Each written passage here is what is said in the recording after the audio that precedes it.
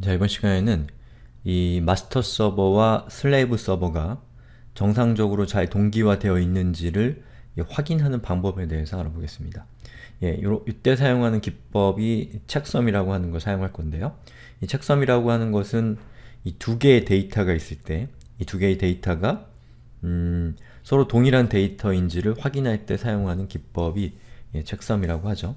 그래서 우리가 어떤 소프트웨어 같은 것들을 다운로드 받을 때 예, checksum이라는 것을 확인할 때가 있는데요. 자 이를테면 지금 보고 계신 화면은 MySQL을 다운로드 받는 페이지인데요. 여기 다운로드 받는 거 옆에 보면 MD5라고 적혀있고 복잡한 숫자가 적혀있죠.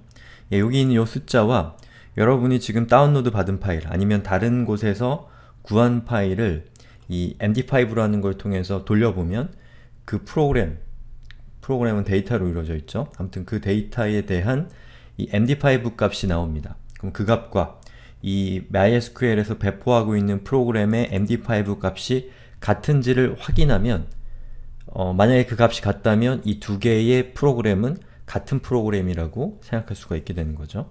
만약에 이두 개가 다르다면 누군가에 의해서 변조됐을 가능성이 있다라는 거죠. 그래서 그 변조된 그 프로그램은 여러 가지 악의적인 의도가 포함되어 있을 수 있는 가능성이 있다는 얘기고요. 뭐 이런 것들을 하는 작업을 예, 책섬이라고 합니다. 자 그래서 이 pt 테이블 책섬이라고 하는 프로그램을 우리가 사용할 건데요. 이 프로그램이 바로 이 책섬이라고 하는 기법과 이 마스터에 있는 데이터가 슬레이브로 전파된다라는 특성을 이용한 예, 도구입니다. 자세한 내용은 뒤에서 조금 더 살펴보고요. 예, pt 테이블 책섬이란 무엇이냐면 어, Percona라고 하는 회사에서 제공하는 예, Percona Tools의 이 여러 개의 프로그램이 포함되어 있는데 그 중에 하나입니다. 예, 원래는 Maatkit Tools의 일부분인 MK 테이블 책섬이었는데 이 Maatkit을 만드신 분이 이 Percona 이 회사에 뭐 입사하면서 이, 이 프로그램이 Percona Tools의 일부로 포함이 됐습니다. 예. 아무튼 뭐 그런 역사가 있는 툴이고요. 그리고 마스터와 replication slave가 일치하는지를 파악하기 위한 도구가 pt 테이블 책섬입니다. 왜냐하면 그 replication이라고 하는 게 실제로 이 slave 쪽에서 정상적으로 잘 작동하고 있다라고 이 상태로는 표시가 된다고 할지라도 여러가지 이유로 인해서 예, 깨질 수 있는 가능성이 항상 있기 때문에 이런 것들을 주기적으로 파악하는 것이 상당히 중요합니다. 예, 그때 사용하는 도구를 이 MySQL에서는 기본적으로 아직까지는 제공하고 있지 않기 때문에 이 PT 테이블 책섬이라는 걸 이용해서 효율적으로 이 마스터와 슬레이브의 일치성을 확인할 수가 있게 되는 거죠. 예. 자 그럼 설치하는 방법을 먼저 살펴볼까요? 자 여기 제가 링크 걸어놓은 URL로 들어가 보시면 자 이 installation 화면으로 나오고요. 예, Percona라고 하는 회사의 홈페이지입니다. 자 여기 보시면 어, install하는 방법이 나와 있는데요. 어, Debian이나 Ubuntu 같은 경우는 밑에 있는 걸 쓰면 되고 예, 다른 리눅스 시스템에서는 위에 있는 방법을 사용하시면 됩니다. 예, 이 프로그램은 특별히 뭐 install을 할 만한 그런 요소가 없기 때문에 아주 간단하게 사실은 다운로드해서 그걸 풀어놓기만 해도 이 프로그램을 쓸 수가 있습니다. 아주 중요한 장점이죠. 그리고 개별적인 이 퍼르코나 툴스에 속해 있는 여러가지 프로그램들을 개별적으로 다운로드 받는 방법이 나와 있는데 뭐 굳이 개별적으로 받을 필요 없이 한꺼번에 받으면 되겠죠. 자 그럼 저는 제 마지막에 있는 요거를 예, 실행을 해보겠습니다. 저는 우분투고요. 자 여기 있는 내용을 카피해서 자, 저희 콘솔 환경으로 들어왔고요. 자 여기서 제가 어, sudo 명령으로 install을 시작을 해보겠습니다. 자 우선 wget을 이용해서 이 Percona Toolkit이라고 하는 이 프로그램을 다운로드 받아야겠죠. 자, 다운로드가 시작됩니다.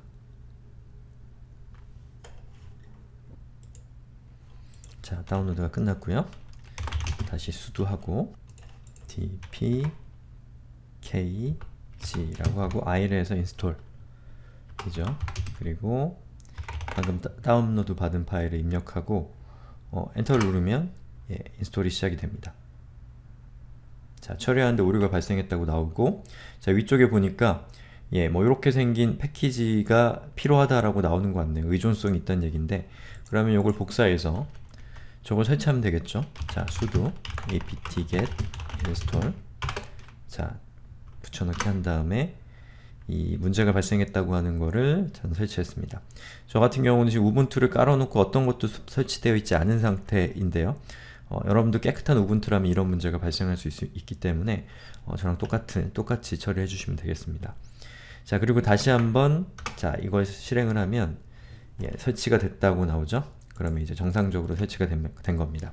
그럼 확인해 볼까요? pt 어, 테이블 책썸이라고 입력해서 이렇게 뭔가 메시지가 나오면 예, 정상적으로 어, 설치가 끝난 겁니다.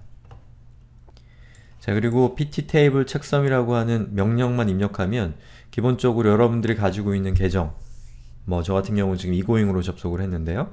그리고 여러분 로컬에 있는 데이터베이스 예, 지금 요 로컬에 데이터베이스가 설치가 되어 있는 경우에 해당되겠죠.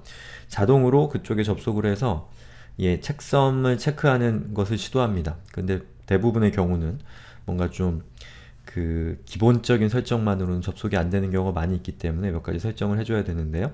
저는 제가 어, 나름대로 찾은 가장 이 짧으면서 동시에 가장 많이 많은 경우의 수를 포괄할 수 있는 케이스를 선정해서 여러분들께 일단은 보여드리도록 하겠습니다. 자 그러면 pt 테이블 책섬이란 프로그램이 어떻게 동작하는지를 먼저 설명드리고 이 디테일한 설정이나 이런 것들은 뒤에서 설명을 드리겠습니다.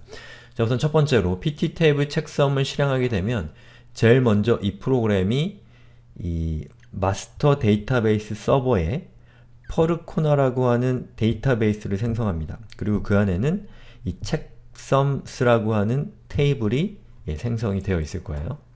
자, 그 다음에 어, pt 테이블 책섬이 이 마스터 서버에 있는 각각의 데이터들에 접근을 해서 그것들에 대한 책섬을 만든 다음에 그 결과를 퍼르코나 데이터베이스에 있는 책섬스라고 하는 테이블에다가 기록을 해둡니다.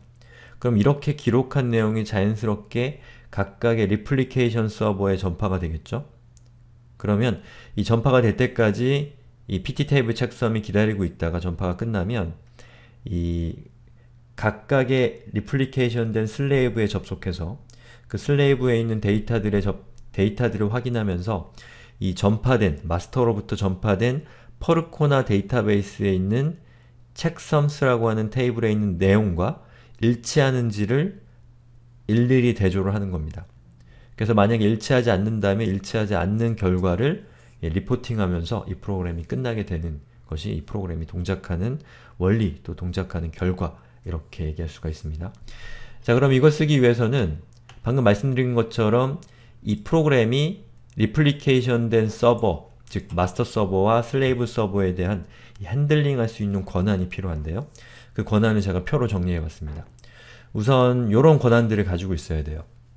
자, 그 권한은 뭐냐면 첫 번째로 process, replication slave, replication client라고 하는 권한이 있어야 되는데 이것들은 뭐냐면 이 pt 테이블 책섬이 마스터 서버에 접속을 한 다음에 그 마스터 서버에, 서버에 접속되어 있는 다른 slave 서버들을 파악하기 위해서 이 명령들을 이용해서 현재 어떤 슬레이브들이 이 마스터 서버와 연결되어 있는가를 체크하기 위해서 저 권한이 필요한 겁니다. 그리고 select는 왜 필요하냐면 이 pt 테이블 책섬이라는 이 프로그램이 각각의 데이터베이스 슬레이브에 접근해서 그 슬레이브에 있는 내용들의 책성을 만들기 위해서 select가 필요한 거죠. 그리고 insert, update, delete가 필요한 이유는 이 프로그램이 음, 퍼르코나라고 하는 데이터베이스를 만들고 또 그 안에 책섬스라고 하는 테이블을 만든 다음에 예, 그것들을 핸들링하기 위해서는 그, 그, 그 테이블 또 그 데이터베이스를 생성 또 수정, 삭제, 추가할 수 있는 권한이 필요하기 때문에 이런 권한들이 필요한 겁니다. 이건 최소한의 권한이고 뭐 이거 이상의 권한을 주실 필요는 없, 없을 것 같아요. 자 그러면 요걸 이 권한을 주기 위해서는 자 요, 여기 제가 준비한 명령을 입력하시기만 하면 예, 저 권한 어, 계정이 만들어지고 그 계정에 권한이 부여가 되는데 자이 그 전제가 있습니다. 제가 준비한 이 명령의 전제가 있는데 첫 번째는 이 복제에 참여하는 모든 서버, 즉 마스터 슬레이브들이 192.168.0. wildcard의 대역에 있다라고 간주하고 있습니다. 자, 여기서 얘기한 wildcard는 뭐냐면 이런 거죠. 마스터 서버가 192.168.0.1이고 slave 서버 1이 192.168.0.2 3이 0.4 0.5, 0.6 이렇게 간다고 하면 여기서 바뀌는 부분은 제일 끝에 있는 요 별표 표시된 부분만 바뀌겠죠. 이거를 MySQL에서는 이렇게 나누기 표시를 사용을 하는데요. 만약에 이 replication에 참여하고 있는 각각의 서버들이 같은 대역에 있지 않다면 그 대역에 해당되는 계정들을 따로 만들어 주시면 됩니다. 그 명령은 제가 따로 설명드리지 않을 거고요. 자, 그 다음에 이 pt 테이블 책섬이 리플리케, 리플리카 와치라고 하는 계정을 이용한다라고 전제를 했습니다. 그 전제에서 만들어진 요 계정이고요. 비밀번호로는 11111, 1 6개가 들어가는 비밀번호를 썼는데 이렇게 허접한 비밀번호를 실서버에서 쓰진 않으시겠죠? 위에 보시는 이 권한들이 상당히 강력한 권한이기 때문에 여러분들 이 계정의 보안에 각별히 신경을 쓰셔야 됩니다. 자 그럼 제가 이 명령을 카피해서 자 콘솔로 들어와 보겠습니다. 자 그럼 다시 콘솔로 들어와서요. 이 콘솔은 이 마스터 서버가 설치되어 있는 콘솔입니다. 여기서 자 MySQL 클라이언트로 접근을 해야겠죠.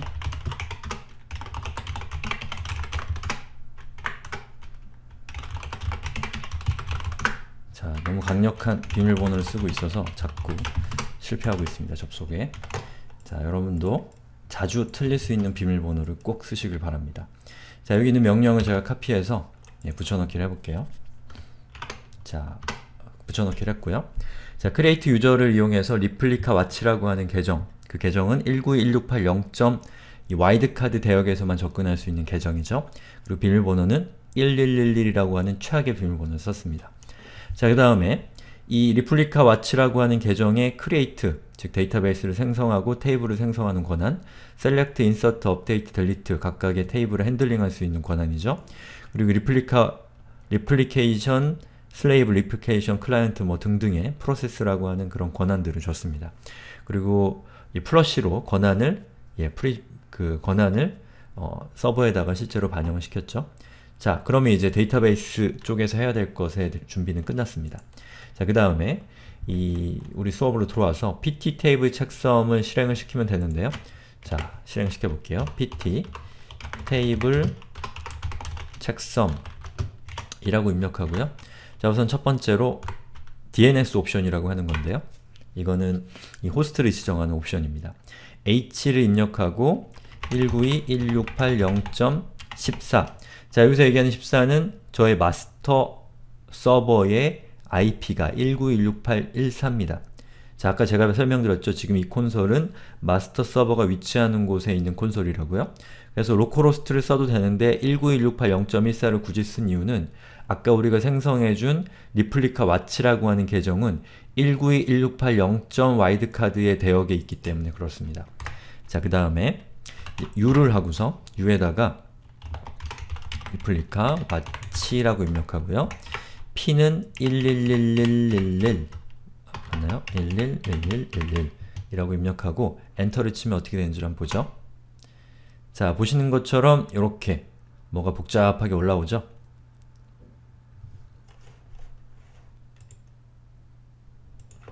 자, 이 내용을 보면 자, 여기 보시면 이 각각의 이 replication 체크했던 시간, 시간들이 나오고요.